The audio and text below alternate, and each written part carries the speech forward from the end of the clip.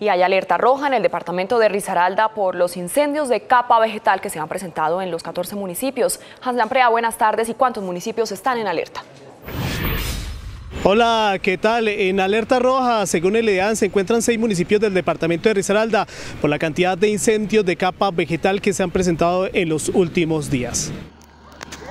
Según la directora de gestión del riesgo de Risaralda, ya son más de 80 los incendios de capa vegetal que se han presentado en el departamento de Risaralda. Pereira, Dos Quebradas, Marsella, Quinchía, Pueblo Rico y Santa Rosa de Cabal son municipios que ya se encuentran en alerta roja. Bueno, se han registrado alrededor hasta el momento de 88 incendios de cobertura vegetal desde el mes de agosto. Se incrementan muchísimo más los últimos días, llevamos 8 días con altas temperaturas. Asegura que hasta el momento no se han visto comprometidas las zonas de conservación ambiental. La mayoría de estos incendios son en rastrojo, basura o en cultivos de debido a las prácticas agrícolas inadecuadas que acostumbran nuestros campesinos para, digamos así, tratar el suelo. Dijo que muchos de los incendios se han presentado por acciones humanas. La mayoría de incendios que se presentan es porque desafortunadamente las personas hacen unas malas prácticas y ocasionan que esos incendios se, den. Con los diferentes organismos de socorro se están atendiendo las diferentes emergencias con el fin de evitar que pasen a mayores.